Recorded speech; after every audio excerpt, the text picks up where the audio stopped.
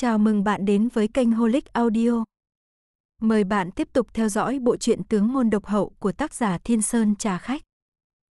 chương 224, Chiếu Thư Ánh mắt ngươi thấy được điều gì, ta sẽ ngay lập tức móc ánh mắt ngươi ra. Minh Mục Trương đảm uy hiếp, không thèm đếm xỉa đến Lô Chính Thuần và Vĩnh Nhạc Đế đang có mặt, hắn dám thốt ra những lời nghịch ngợm táo bạo. Lô Chính Thuần giận đến cơ hồ ngẩng đầu, ý tứ của tạ cảnh hành rõ ràng là muốn Diệp Hồng Quang sửa lời ngay trước mặt hắn. Trên đời này lại có loại người hỗn xược đến thế. Bây giờ, ngươi lại nói cho ta biết, tạ cảnh hành vừa thưởng thức Lý Kim Nguyên Bảo vừa lạnh lùng hỏi, ngươi thấy cái gì? Diệp Hồng Quang chưa từng gặp qua tình cảnh này, càng không nghĩ đến có người dám đối diện hoàng đế mà không phân rõ đúng sai. Hắn khẩn trương, nhìn sang Diệp Mi cầu cứu, trong đám người này, người thân thiết với hắn nhất chỉ có Diệp Mi. Nhưng Diệp Mi khiến Diệp Hồng Quang thất vọng, nàng cúi đầu tránh ánh mắt hắn. Thế là Diệp Hồng Quang càng thêm hoảng loạn. Vĩnh Nhạc Đế và Hiển Đức Hoàng hậu đều im lặng, vốn Lô Chính Thuần kiêu ngạo đã làm người ta căm tức, lại gặp Tạ Cảnh Hành không phải dạng dễ chịu thua. Hai người đối đầu, dù nhìn từ góc độ nào, Lô Chính Thuần cũng sẽ chịu thiệt, nên bọn họ không ai lên tiếng. Lô Chính Thuần dù cũng giận tạ cảnh hành, nhưng dễ dàng không dám hành động. Vĩnh Nhạc Đế còn bận tâm hoàng đế thân phận, huống chi nay chưa phải lúc xé rách mặt, tạ cảnh hành cũng không đồng tình. Trước đây khi tạ cảnh hành trở lại lũng nghiệp, có triều thần từng nghi ngờ hắn, nhưng hắn cười tủm tỉm ứng phó. Chẳng bao lâu sau, những triều thần đó có ai kết cục tốt. Tạ cảnh hành là người tâm ngoan thủ lạt, lại trường mắt tất báo, không đến vạn bất đắc dĩ, trăm ngàn không nên xé rách mặt với hắn.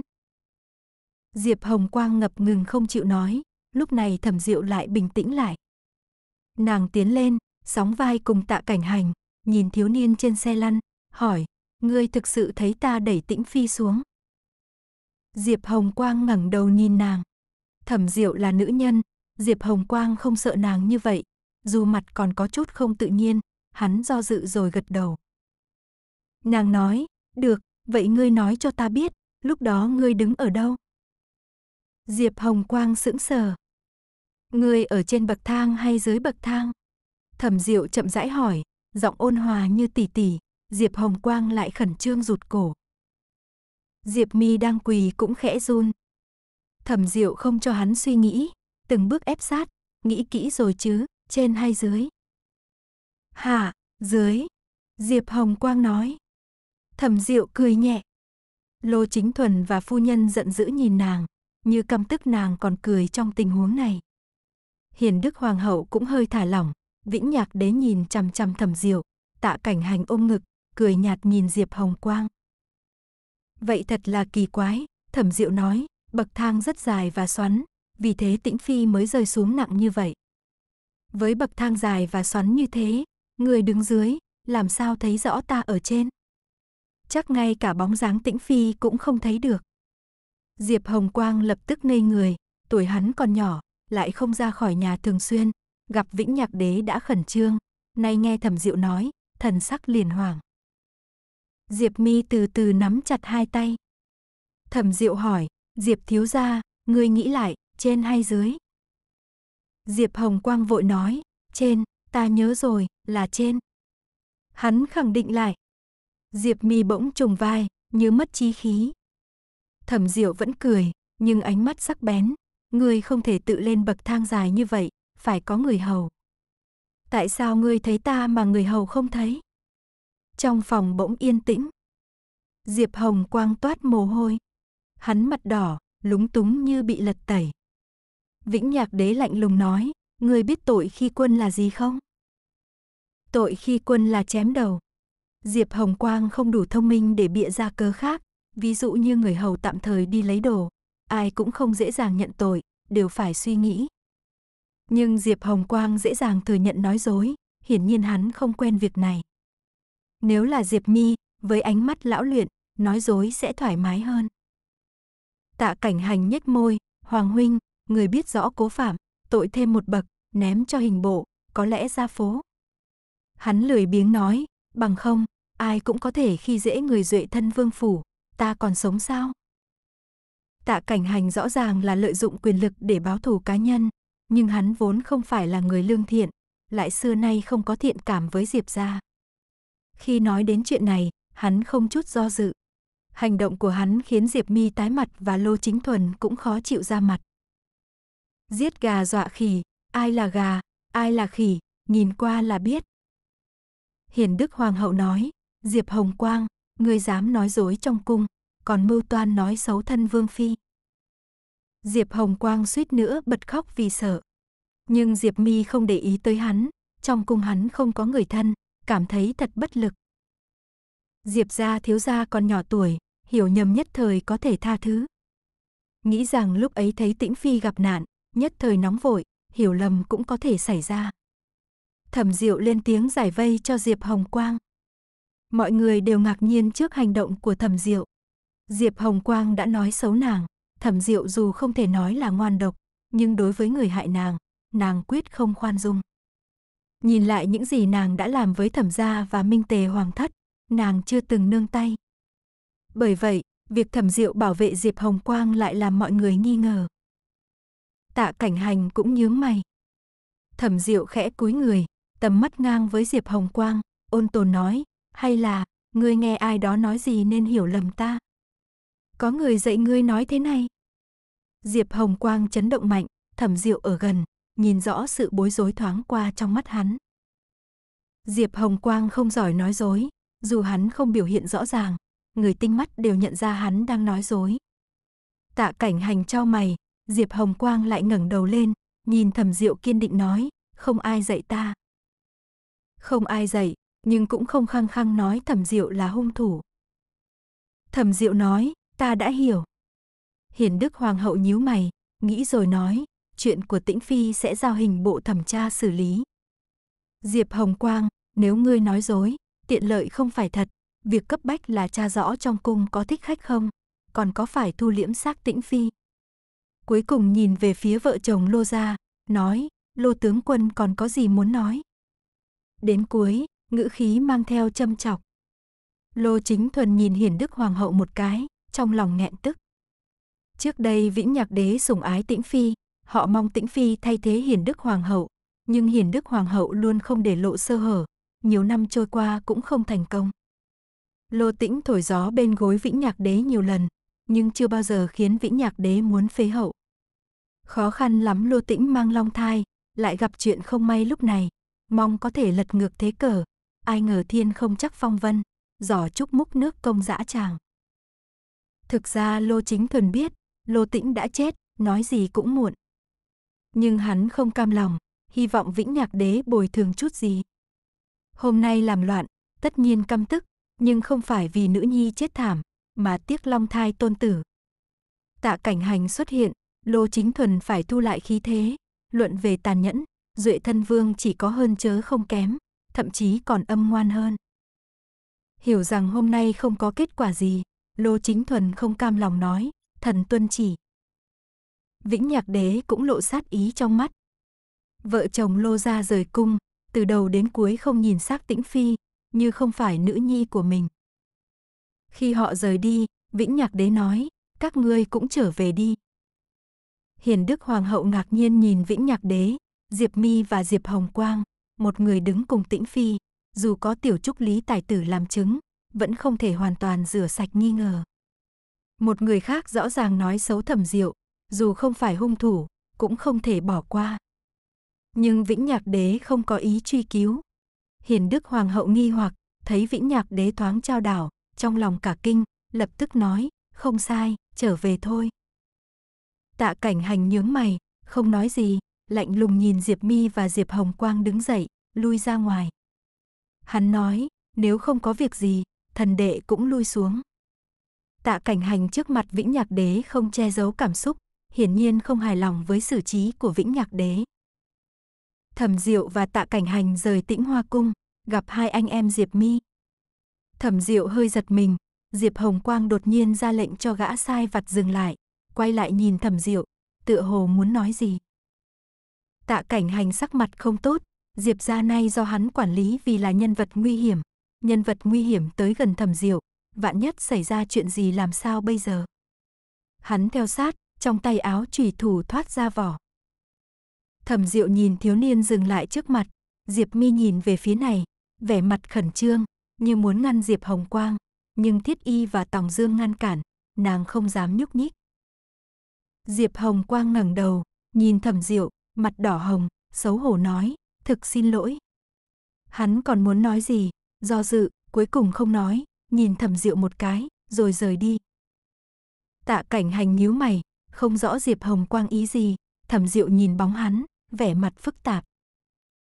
Trên xe ngựa, Tạ cảnh hành thấy Thẩm Diệu im lặng, nói, bảo mặc vũ quân bắt tiểu tử đó về tháp lao, tra khảo vài ngày, khai thật kẻ đứng sau.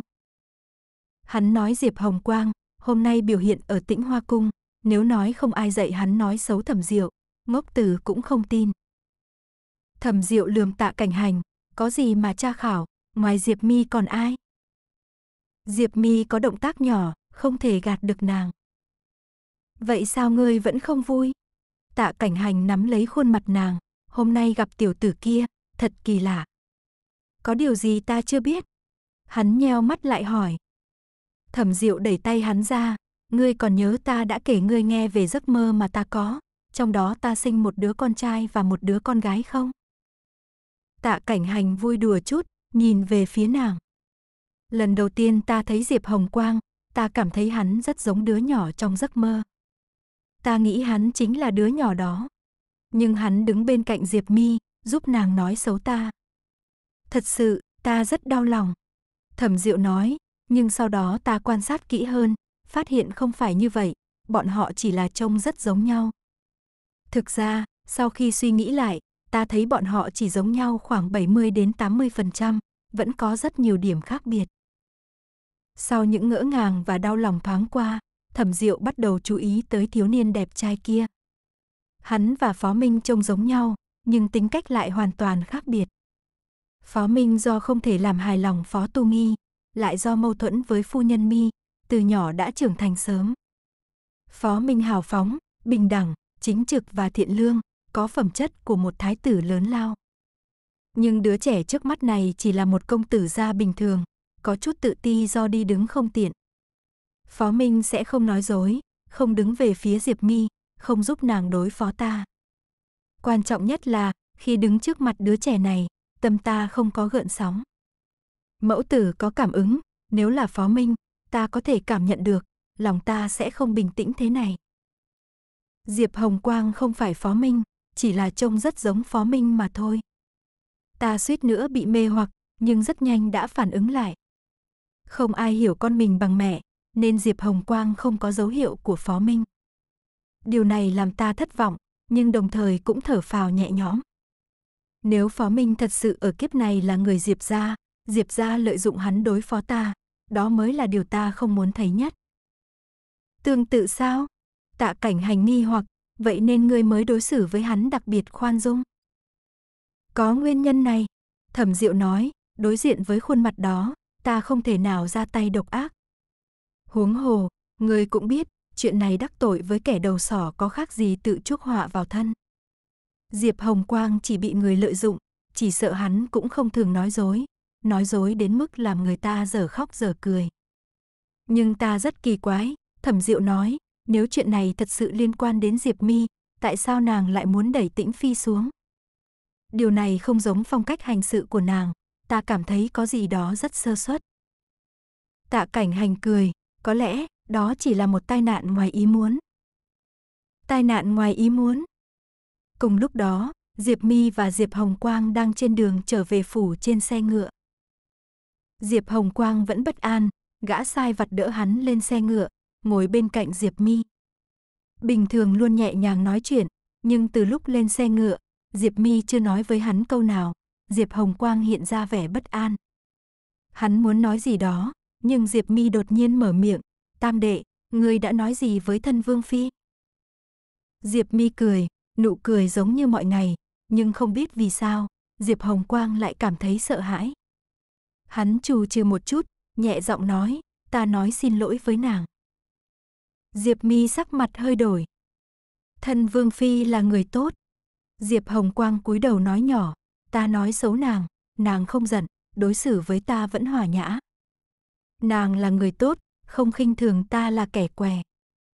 Đại tỷ tỷ, ta nói dối, oan uổng người tốt, trong lòng rất bất an.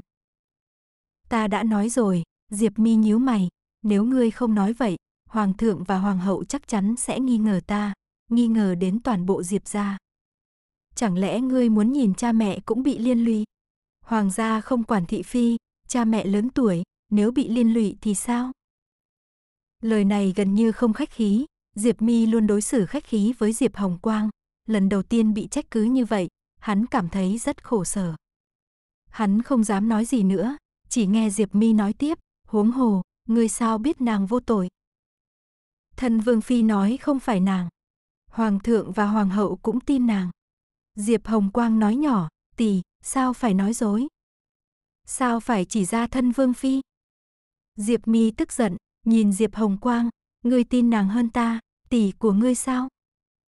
Diệp Hồng Quang lắc đầu, ta chỉ thấy thân Vương Phi không phải người như thế. Luôn miệng tin thẩm diệu, Diệp Mi tức giận không nói nên lời. Vĩnh Nhạc Đế, Hiển Đức Hoàng hậu, Duệ Thân Vương và giờ cả Diệp Hồng Quang đều tin Thẩm Diệu. Thẩm Diệu có gì mà ai cũng tin tưởng. Ngay cả nàng cũng không thể chiếm ưu thế trước Thẩm Diệu. Nghĩ đến chuyện đã xảy ra, Diệp Mi run rẩy. Nàng không nghĩ Lô Tĩnh lại ngu xuẩn như vậy, nàng chỉ nghe lời Diệp Mậu đến tìm hiểu tin tức, ai ngờ Lô Tĩnh ganh tị, cố ý làm khó nàng. Diệp Mi nhẫn nhịn, nhưng Lô Tĩnh lại muốn hủy dung mạo nàng. Diệp Mi không phải kẻ yếu đuối, trong lúc tranh chấp, nàng vô ý đẩy Lô Tĩnh xuống. Hoàng sợ chạy đi, nhưng không biết mình đã mất hứa hẹn. Không có đường lui, nhưng vận khí nàng không tệ, Lô Tĩnh chết, hết chứng cứ, nàng không cần chạy. Diệp Mi bình tĩnh lại, tìm cách mua chuộc tiểu tài tử không được sủng ái. Nàng hiểu mình không thể rửa sạch nghi ngờ, nên cố làm nước ao đục hơn. Nàng ép Diệp Hồng Quang làm chứng, đe dọa nếu không nói dối, cả Diệp Phủ sẽ bị liên lụy. Diệp Hồng Quang nhát gan, không hiểu thế cục, sợ hãi nên đồng ý. Nhưng Diệp Mi không ngờ rằng Diệp Hồng Quang lại vô dụng đến vậy, để Thẩm Diệu bắt được sai lầm và từng bước ép buộc. Kế hoạch hãm hại gần như trở nên vô dụng, và sự kiêng dè của nhà họ Lô đối với Tạ Uyên khiến Diệp Mi nhận ra rằng đắc tội với phủ duệ thân vương là chuyện cực kỳ đáng sợ. Trước đây Diệp Mậu đã đề xuất ám sát Thẩm Diệu, nay lại sai Diệp Hồng Quang bôi nhọ nàng. Diệp Mi luôn lo sợ rằng nếu Tạ Uyên điều tra ra được sự can thiệp của nàng, tất nhiên sẽ không tha cho nàng. Ngày hôm nay, dù Hoàng hậu Hiển Đức và Vĩnh Nhạc Đế cuối cùng cũng buông tha cho nàng, và Thẩm Diệu không truy cứu, Diệp Mi càng nghĩ càng thấy không ổn, nghi ngờ họ có âm mưu sâu xa hơn. Dù sao đi nữa, sớm hay muộn Diệp Mậu cũng sẽ biết nàng đã sai khi giết Tĩnh Phi, và hậu quả này, Diệp Mậu, người khôn ngoan như vậy, sẽ đối xử với nàng ra sao? Diệp Mi thật sự không rõ. Diệp Mi trong lòng vừa phẫn nộ vừa sợ hãi, lại thêm mệt mỏi. Nơi này như cùng nàng tương khắc, ở Khâm Châu nàng muốn gió được gió, muốn mưa được mưa, nhưng tại Lũng Nghiệp lại gặp phải nhiều trắc trở. Tưởng rằng gia nhập Diệp gia sẽ thăng tiến nhanh chóng, kết quả là Diệp gia cũng gặp khó khăn, lại còn đắc tội với người không nên đắc tội không thể ở lại lũng nghiệp, phải rời khỏi Diệp gia. Diệp Mi bất ngờ nảy ra ý nghĩ này. Nàng theo bản năng nhìn qua Diệp Hồng Quang. Diệp Hồng Quang cúi đầu yên lặng thu dọn chăn trên đầu gối, không thấy ánh mắt của nàng. Ánh mắt Diệp Mi trở nên lạnh lùng. Muốn chạy trốn khỏi Diệp gia, thoát khỏi lũng nghiệp, với nàng hiện tại không phải là chuyện dễ dàng. Lên thuyền dễ, xuống thuyền khó, còn có Diệp Mậu như hổ rình mồi. Nhưng nếu tiếp tục ở lại đây, Diệp Mi cảm thấy mình có thể chết mà không biết vì sao. Phải bàn bạc kỹ với Diệp khác mới được. Do sự việc của Tĩnh Phi trong cung kéo dài thời gian, khi Thẩm Diệu và Tạ Cảnh Hành trở lại phủ Duệ Thân Vương thì trời đã tối. Sau khi tắm rửa và ăn uống, Thẩm Diệu vừa sắp xếp thư từ trên bàn, vừa nói với Tạ Cảnh Hành, không ngờ lại diễn ra như vậy. Tạ Cảnh Hành nhận tin từ người dưới, đại khái biết rõ chuyện hôm nay trong cung.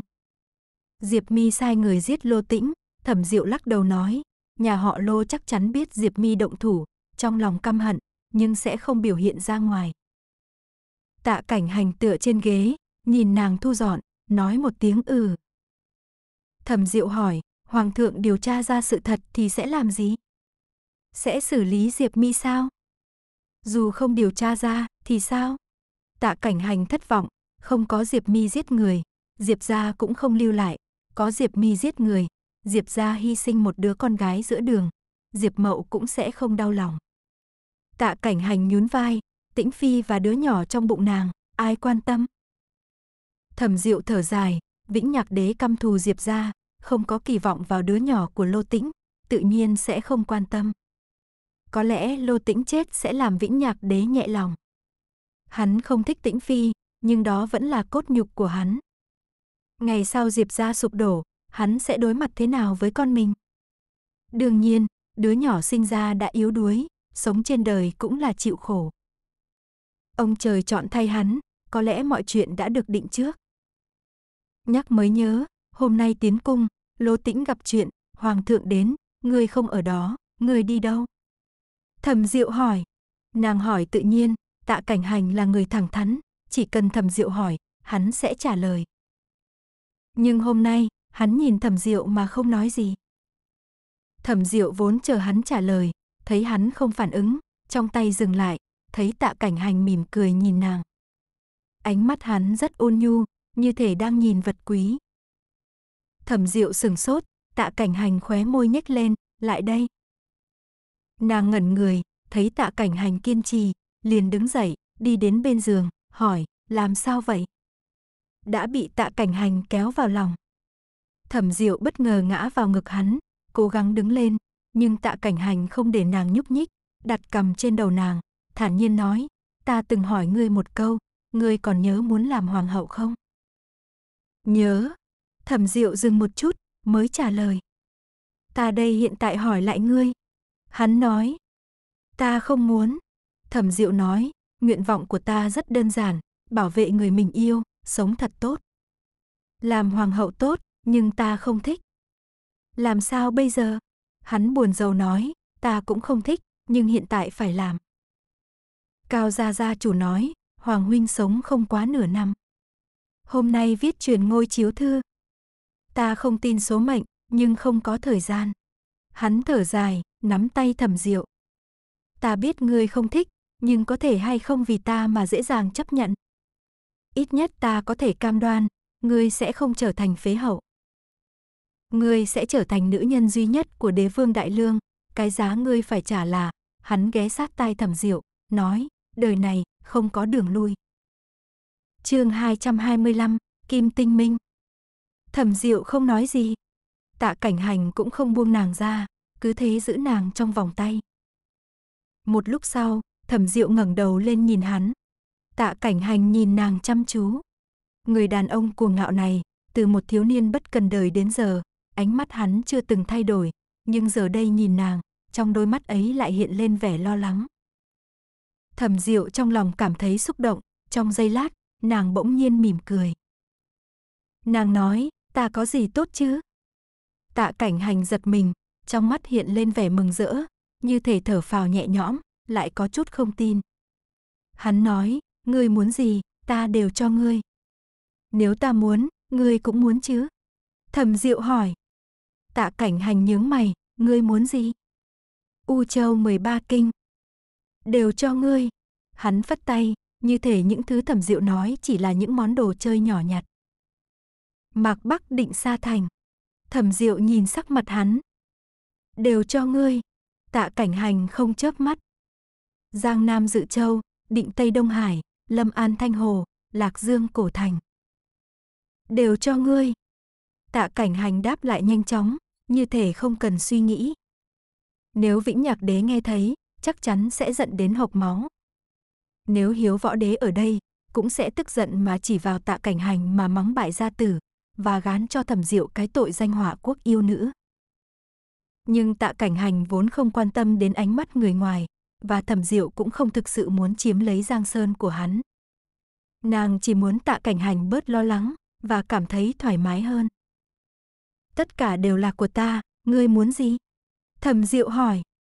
Tạ cảnh hành cười xấu xa, bẫn cợt nói, một đêm 13 lần. Thẩm diệu. Tạ cảnh hành giữ chặt thẩm diệu, nghiêm mặt nói, phu nhân, ngươi không thể bỏ ta. Thẩm Diệu nói, ngươi tràn đầy năng lượng như vậy, ta sẽ bảo đường thúc chuẩn bị khối băng để làm ngươi hạ hỏa. Tạ cảnh hành cúi xuống, chậm rãi nói, có phu nhân ở, còn cần gì khối băng. Bên ngoài, Tòng Dương ôm tai, vẻ mặt đầy thống khổ. Một bên kinh chập nhìn thấy hắn, hảo tâm tiến lên nói, Dương thị vệ, ngươi sao vậy? Không phải bị bệnh chứ? Vừa nói, vừa đưa tay chạm vào chán Tòng Dương. Tòng Dương, đang đỏ mặt tay hồng vì những lời vừa nghe, đột nhiên bị bàn tay lạnh lẽo của kinh chập chạm vào chán, lập tức nhảy dựng lên. Kinh chập cũng hoảng sợ. Kinh chập nhìn tay mình, ta. Sao vậy? Tòng Dương nhìn nàng như thấy quỷ, rồi như bị lửa đốt mông, chạy trốn. Kinh chập đứng ngẩn ngơ, trên cây thiết y nhìn thấy tất cả, không nói gì, chỉ lặng lẽ ôm kiếm ngồi. Dưới tàng cây, đường thúc đi qua, nhìn thấy cửa đóng chặt, hài lòng tặc lưỡi, rồi đi phân phó phòng bếp nấu canh. Những ngày tiếp theo, tạ cảnh hành quả thật bận rộn. Vĩnh nhạc đế bệnh tình gia tăng, nhà họ Lô và nhà họ Diệp đều muốn tìm cách hôn nhân để liên kết, việc này đều phải do tạ cảnh hành tự mình xử lý, hắn ra ngoài từ sáng sớm đến tối mịt. Tạ cảnh hành bận rộn, thẩm diệu cũng không nhàn rỗi. Nhà họ Lô và nhà họ Diệp ở Lũng Nghiệp dù đã tồn tại nhiều năm, nhưng hoàng gia cũng không thể tỏ ra quá tàn nhẫn, tránh để thần tử sinh lòng dị tâm. Thẩm Diệu nhận nhiệm vụ, gặp gỡ các quý phu nhân, truyền đạt ý tứ hoàng gia. Các quý phu nhân ban đầu nghĩ rằng Thẩm Diệu là người minh tề, không hiểu gì về đại lương. Nhưng khi tiếp xúc, họ nhận ra Thẩm Diệu không chỉ khéo léo trong lời nói mà còn hiểu biết nhiều điều. Bất kể nói về kiểu dáng trang phục, thế cục đại cục hay kỳ văn dị sự, Thẩm Diệu đều có thể trò chuyện. Sự hiểu biết của nàng là kết quả của thời gian ở Minh Tề hậu cung, dù không hạnh phúc nhưng đã tăng trưởng kiến thức.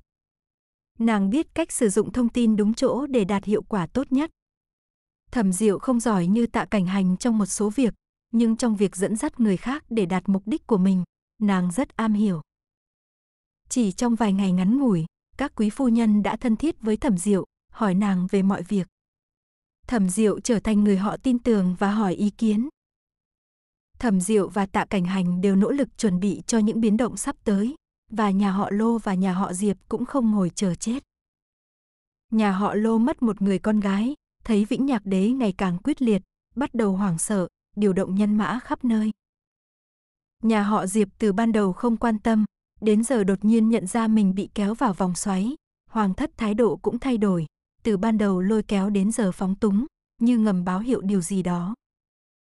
Diệp Mi nhất cử nhất động đều bị Thẩm Diệu âm thầm chú ý thông qua Mạc Kình.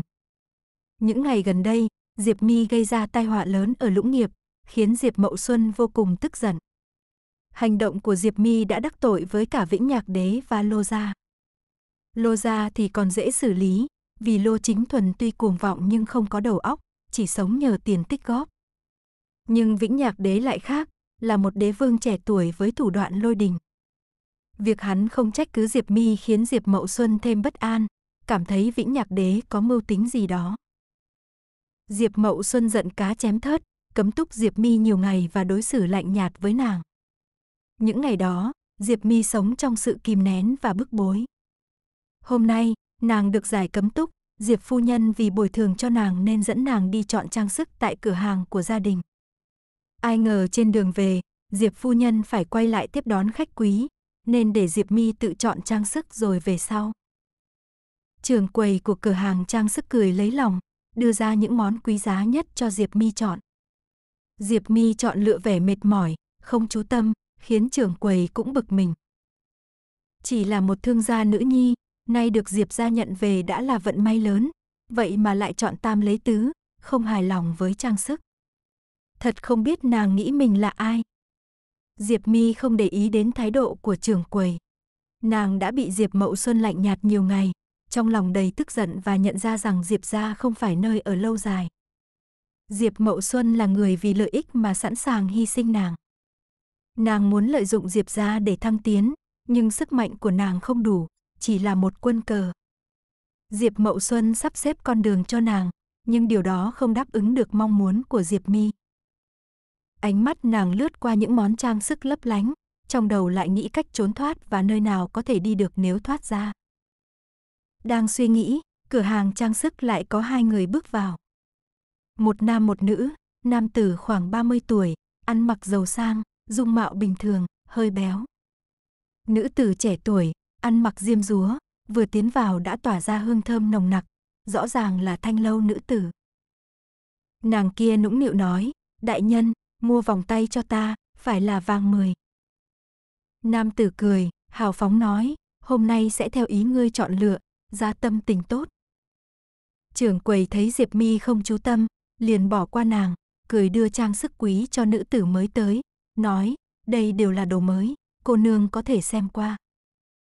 Nữ tử đó liền tiến đến gần Diệp Mi, mùi hương làm Diệp Mi khó chịu, nàng quay đầu nhìn, khi thấy nam tử bên cạnh nữ tử đó, không khỏi ngẩn ra. Nam tử cũng thấy nàng, ngạc nhiên rồi vui vẻ nói, Mi Nhi. Nữ tử chọn trang sức ngẩng đầu lên, cảnh giác nhìn Diệp Mi. Trường quầy cũng lắng tai nghe, người này nếu gọi Diệp Mi Mi Nhi, tự nhiên là bạn cũ. Dù sao trước đây Diệp Mi chỉ là con gái thương hộ. Diệp Mi có chút tránh né ánh mắt nam tử, muốn rời đi, nhưng nghĩ lại, bước chân dừng lại. Nàng nhìn trường quầy, nói, nếu đã gặp, mượn một bước nói chuyện. Nam tử như được cầu còn không được, nữ tử bên cạnh giữ chặt tay nam tử, nói, đại nhân, ngài còn phải bồi ta chọn trang sức. Nam tử không kiên nhẫn, lấy mấy tấm ngân phiếu ném cho nữ tử, nói, tự ngươi chọn đi. Nữ tử được ngân phiếu, liền không dây dưa. Nam tử cùng Diệp Mi ra cửa, Diệp Mi kéo khăn che mặt, nói, tìm một tửu lâu đi. Trong phòng riêng của tửu lâu, nam tử nhìn Diệp Mi, ngạc nhiên nói, bên cạnh ngươi sao có nhiều thị vệ vậy? Trước đây ngươi không nói một tiếng đã rời khỏi Khâm Châu, ta còn nhờ người tìm lâu lắm, không ngờ lại ở đây. Diệp Mi lòng thầm tính toán. Nam tử này là thanh mai trúc mã của nàng, Kim Tinh Minh, trưởng tử của Kim gia, cũng là thương hộ ở Khâm Châu. Lý lão gia và Kim lão gia có giao tình thâm hậu, Diệp Mi từ nhỏ đã lòng dạ cao, không muốn gả cho thương nhân. Nàng luôn tỏ ra nhu thuận trước Kim Tinh Minh, khiến hắn mê mệt và tôn thờ nàng. Sau khi Lý gia vợ chồng qua đời, Lý gia cần Kim gia chiếu cố, Diệp Mi càng đối xử tốt với Kim Tinh Minh, Kim lão gia còn định hỏi việc hôn nhân cho nàng. Nhưng Diệp Mi không muốn, nàng muốn làm quan viên tiểu thiếp còn hơn là thương hộ thê tử. Khi Diệp gia xuất hiện, nàng liền đi theo Diệp gia đến Lũng Nghiệp, không nói một lời với Kim gia. Kim Tinh Minh không biết nàng ở đây, ai ngờ lại gặp tại chỗ này. Nhanh chóng tính toán trong đầu, Diệp Mi lắc đầu, thở dài nói, lúc ở Lý gia, nhận được Kim gia chiếu cố, ta cùng nhị đệ sống không tệ. Ai ngờ đột nhiên có người tới, nói ta là con gái của thừa tướng Diệp gia. Ta kinh ngạc, họ không giải thích, lập tức đưa ta đi. Thừa tướng Diệp gia. Kim Tinh Minh ngạc nhiên kêu lên, là vị Diệp thừa tướng ở Lũng Nghiệp sao? Diệp Mi gật đầu, nói, nhưng đến nơi mới biết họ nhầm người. Diệp gia chỉ có một vị thiếu gia, họ tìm nhầm, không dám thừa nhận sai lầm, liền ép ta làm thiên kim Diệp gia. Ta nghĩ không sao, nhưng Diệp thừa tướng lại là kẻ lòng lang dạ thú, muốn dùng hôn nhân của ta để mượn sức người khác. Nàng khóc lóc thảm thiết, vốn đã xinh đẹp, giờ lại càng sở sở động lòng người, khiến Kim Tinh Minh đau lòng. Kim Tinh Minh tức giận nói, hắn sao có thể như vậy? Ruột thịt còn không thể vô tình, huống chi ngươi không phải con gái hắn, lại toàn tính nhân duyên của ngươi, đáng giận. Đi, chúng ta đi cáo quan. Vô dụng. Diệp Mi lắc đầu, quan lại bao che, Diệp Mậu Xuân ở lũng nghiệp tay che trời. Ta từng muốn viết thư về Khâm Châu tìm ngươi, nhưng thư bị chặn lại. Ta cùng nhị đệ đều bị Diệp gia giam lỏng, hôm nay xuất môn đã là hiếm có. Kim Tinh Minh tức giận, sắc mặt khó coi vô cùng. Hắn vốn rất thích Diệp Mi, trước đây khi Diệp Mi cùng em trai biến mất, Kim lão gia nói rằng Diệp Mi không muốn gả cho hắn nên đã chạy trốn. Kim Tinh Minh đã rất giận, nhưng giờ đây thấy giai nhân khóc lê hoa đẫm lệ, lòng hắn sao còn giữ được cơn giận. Chỉ thầm trách mình, giá như sớm phát hiện ra cảnh ngộ của Diệp Mi thì tốt biết bao. Diệp Mi ngẩng đầu lên, nói, mấy ngày qua, ta không lúc nào không nhớ đến Kim Đại ca, chỉ hy vọng có một ngày được tự do. Kim đại ca, ngươi có thể giúp ta không? Kim Tinh Minh liên tục gật đầu, giúp, ta có thể làm gì? Kim đại ca, nay ta không cầu gì khác, chỉ mong ngươi giúp ta rời khỏi Diệp gia. Diệp Mi dưng dưng cười nói, có thể ở cùng Kim đại ca, ta không cần ngày ngày lo lắng sợ hãi. Kim Tinh Minh suýt nữa bị lời nói của Diệp Mi làm tan nát tâm can. Trước đây, Diệp Mi tuy đối xử ôn nhu với hắn, nhưng không như bây giờ, nàng luôn giữ khoảng cách, khiến người ta không rõ thái độ của nàng. Nhưng giờ, nàng rõ ràng coi hắn là người quan trọng. Mặc dù lâng lâng trong lòng, Kim Tinh Minh vẫn giữ lý trí, Diệp gia là thừa tướng gia, hắn chỉ là con trai một gia đình thương hộ. Nhưng, Diệp gia rất khó đối phó. Diệp Mi không nói gì, chỉ dùng đôi mắt xinh đẹp nhìn hắn. Kim Tinh Minh trong lòng rung động, nói, cũng không phải không có cách nào. Mi Nhi, ngươi có biết vì sao ta đến lũng nghiệp không? Diệp Mi lắc đầu, nàng không quan tâm đến Kim Tinh Minh, giờ thấy hắn chủ động nói chuyện, chỉ muốn lợi dụng hắn thoát khỏi Diệp gia. Kim Tinh Minh đắc ý nói, ta có một bằng hữu cũng là thương hộ. Năm trước, khi đi Minh Tề, nghe nói năm nay lại kết giao với hoàng thương của Minh Tề, có thể còn làm quan. Ta nghĩ thay vì ở Khâm Châu làm thương hộ bình thường, chi bằng đi ra ngoài sông pha. Bằng hữu kia cũng muốn ta đi cùng, ta đến lũng nghiệp để xử lý vài công việc kinh doanh trong nhà, rồi sẽ thương lượng với hắn. Vốn ta còn do dự, nhưng nay gặp Mi Nhi ngươi, ta không còn sợ hãi gì. Quyết định đi minh tề định kinh, làm thượng quan nhi ta cũng không mơ, nhưng có thể kiếm được nhiều tiền hơn. Diệp ra tay che trời, nhưng nếu chạy đến minh tề, tay Diệp ra cũng không dài tới vậy. Mi Nhi, ngươi thấy sao? Diệp Mi trong lòng vừa động, trong lúc Kim Tinh Minh nói chuyện, nàng đã nhanh chóng tính toán. Dù chưa hiểu hết mọi việc, nàng vẫn cười nói, tất nhiên tốt lắm. Kim đại ca, ngươi thật là chỗ dựa của ta. Trên đời này, chỉ có Kim đại ca là đáng tin cậy. Nàng xinh đẹp, ôn nhu, phong tình vạn trùng, khiến Kim Tinh Minh lòng dạo dực, không tự chủ được vươn tay ra sờ tay nàng. Diệp Mi nén ghê tởm, để Kim Tinh Minh làm vậy, trước đây nàng khinh thường, nhưng nay không thể không tạm nhân nhượng vì đại cục. Thẩm Diệu vừa rời khỏi phủ của một phu nhân quý tộc, hôm nay nàng tham gia một tiệc trà xã giao. Các phu nhân dần chấp nhận ảnh hưởng của Thẩm Diệu. Tạ Cảnh Hành nói triều đình nay ổn định hơn nhiều. Nàng mỏi cổ, đang định lên xe ngựa, thì thấy ở một trà phường phía xa, một nam một nữ bước ra. Nữ tử che mặt xa, nhìn không rõ mặt, nhưng Thẩm Diệu nhận ra dáng đi và thân hình là Diệp Mi. Nam tử kia có vẻ thân mật với Diệp Mi, nhưng nhìn cách hành xử, lễ nghi của hắn không giống quý tộc mà có vẻ như thương nhân. Thẩm Diệu nghiêng người, bóng xe ngựa che khuất nàng, Diệp Mi không thấy. Nam tử nói chuyện với Diệp Mi vài câu, rồi hai người chia tay. Nam tử quay đầu đi hướng khác. Thẩm Diệu nghĩ ngợi, phân phó Mạc Kình, ngươi theo dõi nam nhân kia, nghe hết những gì hắn nói. Mạc Kình đã giám sát Diệp Mi nhiều ngày, việc này thuận theo tự nhiên. Mạc Kình lĩnh mệnh rời đi. Thẩm Diệu ngồi trên xe ngựa, trong lòng trầm ngâm. Nam tử kia không xuất thân quý tộc, Diệp Mi luôn coi trọng sự cao sang, không nói chuyện với người thường. Vậy mà lại cùng nam tử này đến trà phường, có lẽ còn uống trà cùng nhau. Diệp Mi luôn biết lợi dụng mọi người xung quanh, nhất là nam nhân. Thẩm Diệu nghĩ rằng Diệp Mi muốn lợi dụng nam nhân này đạt mục đích, nếu không, với tính cao ngạo của nàng, sao có thể hạ mình như vậy? Nàng muốn làm gì? Diệp Mi trở về Diệp phủ lúc trạng vạng, thường thì Diệp Mậu Xuân về khuya, nhưng hôm nay lại về sớm. Thấy nàng vào, hắn hỏi, đi đâu? Có lẽ vì Diệp gia gặp khốn cảnh, Diệp Mậu Xuân cảm thấy khó khăn, sự thong dong của hắn tan biến, hòa khí cũng trở nên âm trầm. Diệp Mi lấy lại bình tĩnh, nói, mẫu thân bảo ta đi chọn trang sức ở cửa hàng. Mẫu thân? Diệp Mậu Xuân hỏi lại. Diệp Mi bị ngữ điệu của hắn làm cho tức giận, nhưng không dám chọc giận hắn. Từ đầu, hắn muốn nàng giả vờ làm con gái Diệp phu nhân, nay lại như Diệp Mi cố tình đến Diệp gia làm thiếp. Diệp Mậu Xuân hỏi, trang sức đâu? Diệp Mi nói, không có gì vừa mắt, nên không chọn. Ngươi thật tự hiểu mình, biết không phải của mình thì không thể lấy. Diệp Mậu Xuân nói mỉa, rồi hỏi, hôm nay ngươi gặp nam tử kia là ai? Diệp Mi sửng sốt, rồi phẫn nộ, không cần nói cũng biết là thị vệ của Diệp Phủ theo dõi nàng. Những thị vệ này bảo vệ nàng, nhưng thực ra là giám sát, báo cáo mọi hành động cho Diệp Mậu Xuân.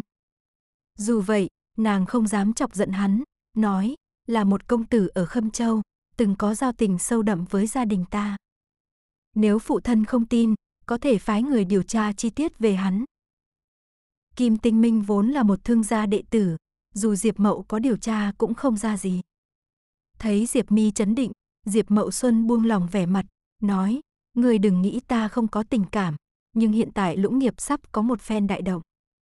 Ngươi là nữ nhi Diệp gia, nhất cử nhất động đều bị người ta theo dõi. Nếu gây tai họa cho Diệp gia, cả ngươi và Diệp gia đều gặp họa. Rồi hắn ra vẻ ôn hòa cười, ngươi nếu thông minh, sẽ biết điều gì nên làm, điều gì không nên làm. Ngươi và Diệp gia cùng một chỗ, tự nhiên phải hỗ trợ lẫn nhau. Nghe xong lời Diệp Mậu, Diệp Mi càng thêm nặng nề, xác định rằng Diệp Mậu đang lợi dụng nàng cho một mục đích nào đó. Nàng suy tính trong lòng, rồi đối đáp qua loa vài câu, mới trở về phòng. Khi về nhà, Diệp Mi phát hiện Diệp Khác đã chờ sẵn trong phòng. Thấy nàng trở về, Diệp Khác cười nói, tỷ, ngươi hôm nay đi đâu, sao giờ mới về, ta đợi ngươi lâu rồi. Diệp Mi tâm phiền ý loạn, muốn nói chuyện Kim Tinh Minh cho Diệp Khác. Trước đây ở Khâm Châu, Diệp Khác rất mong Kim Tinh Minh làm phu của tỷ hắn, vì Kim gia có thể giúp đỡ Lý gia. Nhưng khi đó, Diệp Mi không coi trọng Kim Tinh Minh, dù Diệp Khác đã từng khuyên nàng rằng Kim Tinh Minh sẽ đối xử tốt với nàng. Nay nàng muốn theo Kim Tinh Minh chạy trốn đến Minh Tề, tự nhiên phải đưa Diệp Khác theo. Nhưng Diệp Khác có thái độ thế nào, nàng chưa chắc. Ngươi còn nhớ Kim gia ở Khâm Châu, Kim Tinh Minh không? Diệp Mi hỏi. Kim Tinh Minh? Diệp Khác hoài nghi nhìn nàng, nhớ chứ, đột nhiên nhắc tới hắn làm gì?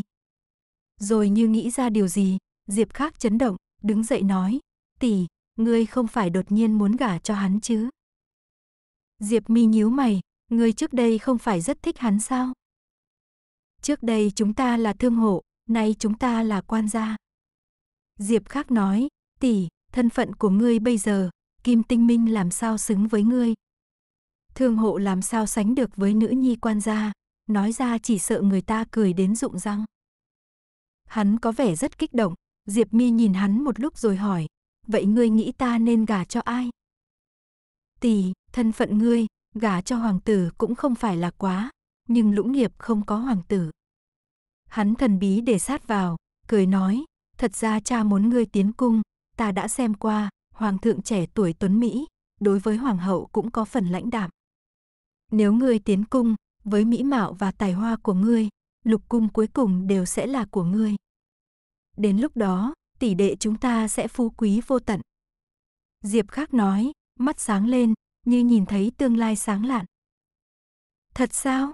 Diệp Mi nhìn hắn, ngươi thật sự nghĩ vậy? Tỷ, ngươi khi nào trở nên không tự tin vậy? Diệp Khác vỗ ngực nói, tin ta, ngươi sẽ trở thành nữ nhân tôn quý nhất đại lương.